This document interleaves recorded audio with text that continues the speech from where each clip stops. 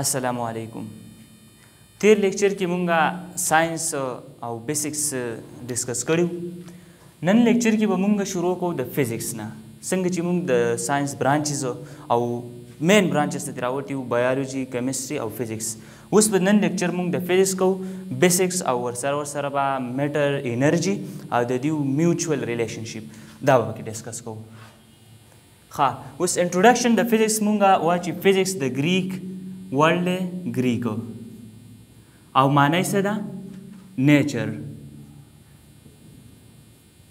قدرت وته ده د فزیکا نه فزیکا معنی د نیچر قدرت نو اوس په شارټ شارټ لفظونو کې موږ داسې ویلی شو چې د سټډي اف نیچر د سټډي اپ نیچر د قدرت سټډي د سټډي اپ نیچر از کارډ فزکس دا موږ په شارټ لفظونو کې داسې ویلی شو اوس صحیح د فزکس ډیفینیشن له چې موږ راځو نو ډیفینیشن به اوس ولیکو ډیفینیشن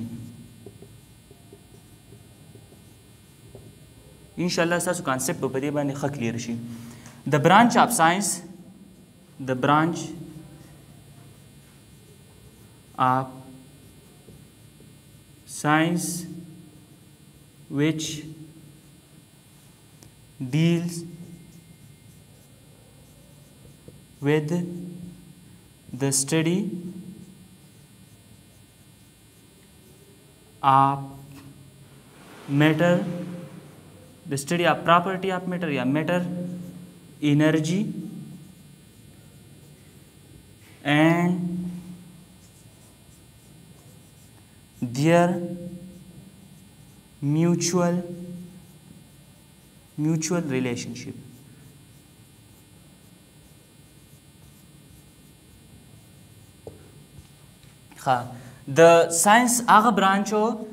چې په هغه کې مونږ سټډي کوو مطالعه کوو د څه د میټر د انرژي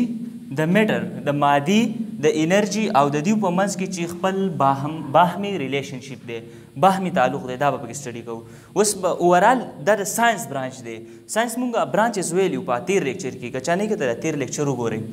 فزکس ته موږ راوتیو فزکس اوس د فزکس نه موږ شروع کوو نو فزکس کې د برانچ اف ساينس دی د ساينس برانچ دی په کوم کې چې موږ میټر انرژي او د دې په منځ کې باهمي تعلق څه دی دا به سټډي کوو نو دا شو شارټ د فزکس ډیفینیشن اوس په سيزو چې میټر څه ته وایو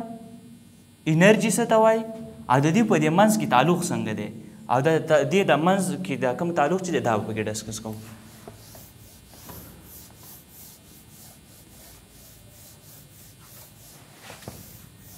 میټر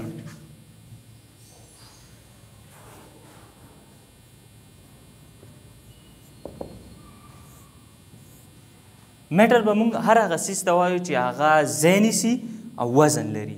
اوس دوه خبرې دي په دې ځای کې زموږ سره په میټر کې یو هغه څیز هر هغه څیز چې هغه ځای نیسي او وزن لري ځای نیسي وزن لري دې ته به موږ میټر وایو ساده دا پنځم نه شروع شوی دی او د لسم د دې پار کې د دې کلاسونو کې په هر کلاس کې ویل کېږي چې میټر څه ته وایي او پراپرټیز دا هر څه دا په نیکسټ چپټرز کې را روان دي نو چې یو اني ثینګ ویچ اکوپای سپیس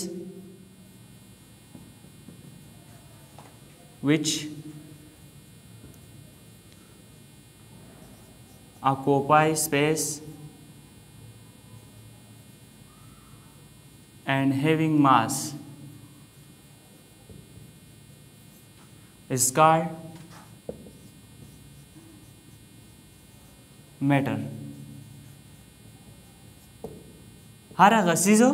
which having چې which occupy space چې هغه ځای ګیروي اوس مارکر شو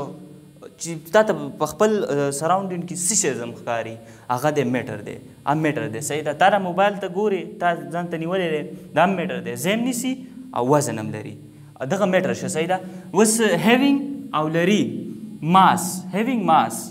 ماس مې پکې وایي خیر کو هیوینګ ماس او وزن لري دې ته به موږ میټر وایو اوس ټایپس اف میټر د میټر څو قسمونه دي د میټر ډېر شي قسمونه دي خو جنرالز پکې موږ څلور ډیسکس کوو څلور ټایپس دي صحیح ده یو ته موږ وایو سالډ بل ته لیکویډ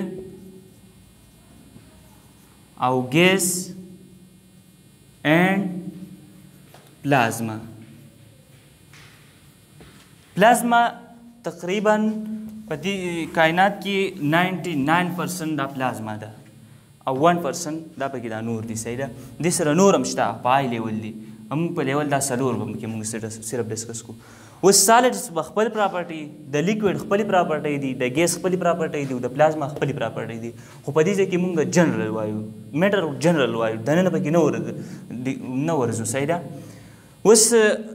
سالډ لیکویډ او ګیس پلازما دا خو د میټر ټایپس شو اوس پکې مونږه بل ماس هیوینګ ماس ماس مطلب څه دی که ته سالډ راواخلې یو سیز راواخله بلاک راواخله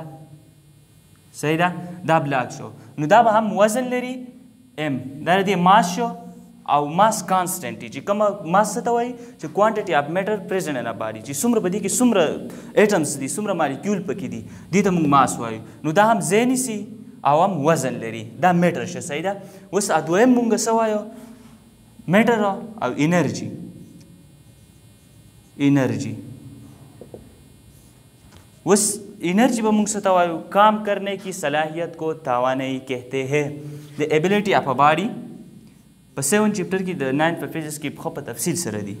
د ایبیلیټي اف